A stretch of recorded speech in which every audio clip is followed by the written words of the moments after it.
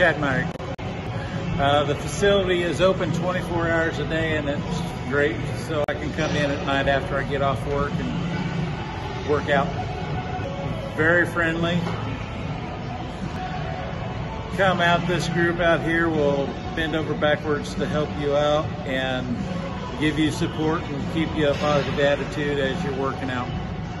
Um, over the last two years, I've lost 43 pounds and four pant sizes working out here and doing other stuff on top of it.